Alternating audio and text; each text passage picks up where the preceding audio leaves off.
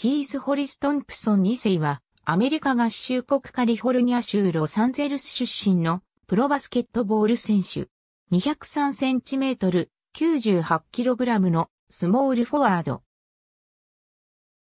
オリンピアコス BC に所属している。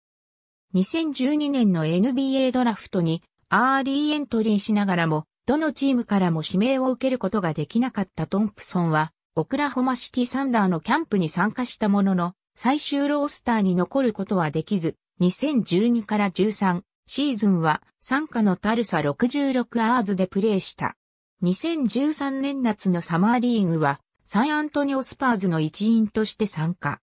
そこでスパーズのアシスタントコーチを長年務め、フィラデルフィアセブンティーシクサーズのヘッドコーチ就任が決まっていたブレット・ブラウンの目に留まり、セブンティーシクサーズとの契約を勝ち取る。ルーキーシーズンから常時起用され、2013から14シーズンは77試合に出場し、3ポイントシュートの成功率は、ルーキー選手ではトップの40.1%を記録。翌2014から15シーズンも40.1%の3ポイントシュートの成功率を記録。規定品投げ数と規定成功数に到達したこともあり、成功率ランキングでリーグ11位にランクインした。しかし、2016から17シーズンは出場機会を失い、2017年1月4日に解雇された。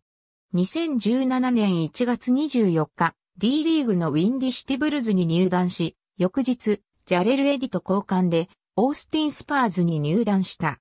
2017年2月23日、ニューオーリンズペリカンズと10日間契約を結んだ。2017年3月5日、2回目の10日間契約を結び、2回目の10日間契約終了後、オースティンに戻った。